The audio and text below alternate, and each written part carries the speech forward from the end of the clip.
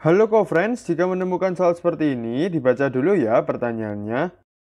Paman dan Bibi datang pukul 20.00 atau bisa dituliskan juga sebagai pukul berapa co-friends. Ini adalah pertanyaan kita ya untuk soal kali ini.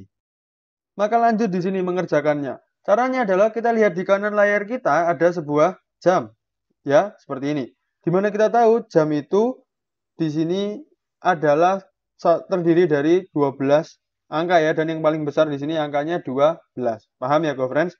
Dan kita juga harus tahu friends bahwa satu hari itu ada berapa jam? Betul sekali 24 jam ya. Ini ya informasi umum. Satu hari itu 24 jam.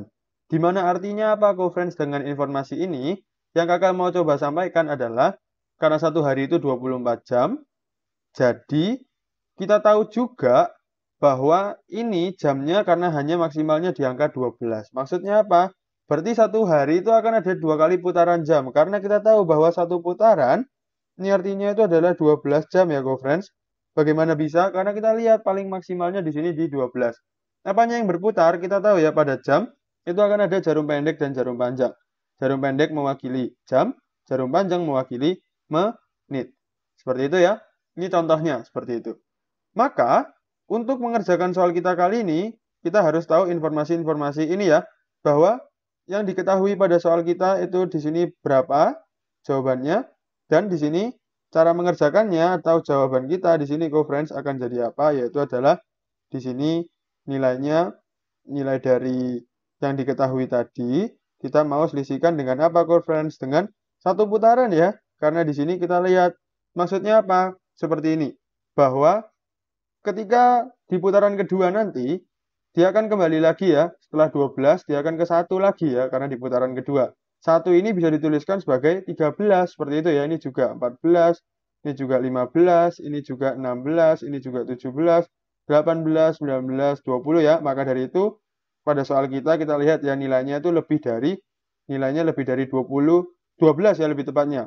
Lebih dari 12, karena dia sudah berputar seperti ini. Maka dari itu, kita bisa selisihkan tadi. Misalnya juga kita punya jamnya bentuknya seperti ini, yaitu adalah 0900 ya misalnya. Ini artinya apa? Ini akan mewakili jam, dan di sini akan mewakili apa, conference menit ya, seperti itu. Maka langsung ya conference ini kita tuliskan ya, diketahuinya pukul berapa tadi sesuai pada soal 20.00 ya. Lalu di sini satu putaran atau 12 jam ini bisa dituliskan sebagai apa, conference? Ya, betul sekali, yaitu sebagai 12.00 ya, karena jam titik menit, seperti tadi ya. 12 jam itu artinya 0 menit ya. Satu putarannya 0 menit 12.00. Maka dari itu untuk jawabannya jadi berapa kok friends? Di sini akan jadi diketahuinya 20.00 ya. Kita mau kurangi dengan 12.00 seperti itu. Maka jawabannya akan jadi berapa? Kita mau kurangi di sini ya. 20.00 kurangi 12.00. Sisihkan berapa ini 00? Ini berapa? 20 kurangi 12 ya 8 ya langsung ya 8. Ini akan jadi 0 ya. Caranya bagaimana? Karena ini ya, pinjam satu, ini jadi 10 ya. Ini kita bisa lakukan seperti itu. Karena jangan lupa, kita harus bisa hitungnya hanya menit dengan menit, jam dengan jam ya. Tidak bisa dicampur seperti itu. Jadi karena ini 20 ini jamnya ya, bisa kita kurangi 20 kurangi 12, 8 ya. Jadi jawabannya jam berapa friends 08.00.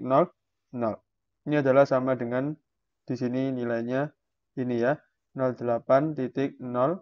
Seperti itu ya. Maka ini adalah jawaban kita, co-friends, untuk soal kali ini ya. Sampai jumpa di soal berikutnya ya. Semangat terus, co-friends.